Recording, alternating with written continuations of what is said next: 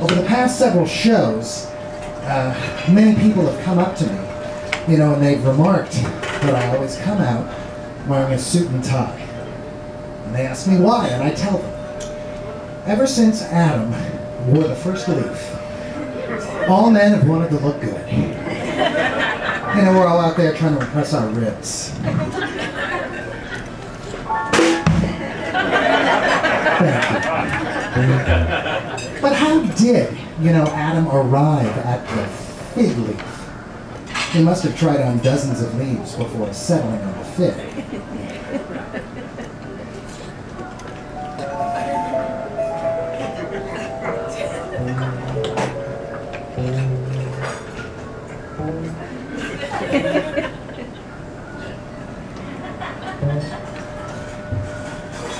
Thank you.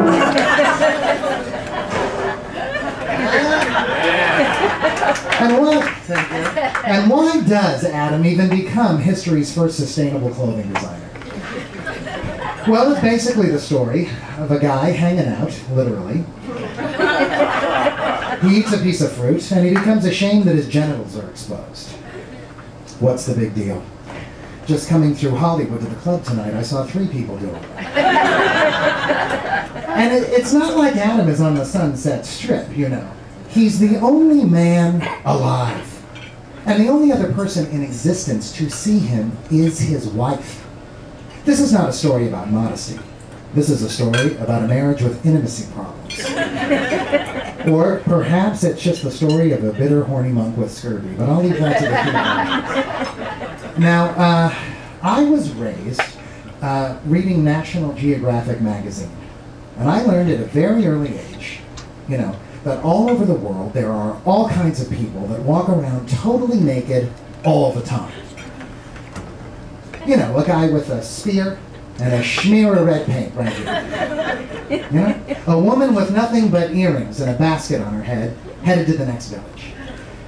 But we can't take these people seriously. They're not even civilized enough to realize they should be ashamed of their bodies. Hey, buddy, God says put on some underwear.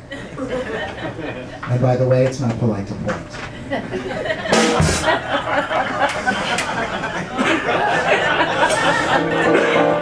Okay, okay, okay, okay. now, uh, you'll excuse me, you know, for just being another fully clothed, judgmental male, but uh, I'll say this naked cultures are doomed to a life without technology because there's a link between technology and clothing. Right? Look, if you're going to have a cell phone, you need a belt, right? A pocket, a coordinating handbag, something. Bottom line, you know, naked people don't have phones. But I don't think that these uh, naked cultures should change their lifestyle, you know, for the sake of technology. I think they should adapt the technology to fit their lifestyle. For example, how about a spear phone? Bring. Hi, this is Umdugu. I'm away from my spear right now and can't talk. Please leave a message after the blood-curdling battle cry, and I'll get back to you. Why did I even start? Ah! And that is why I wear a suit and tie. One, two, oh, one, two, three, four.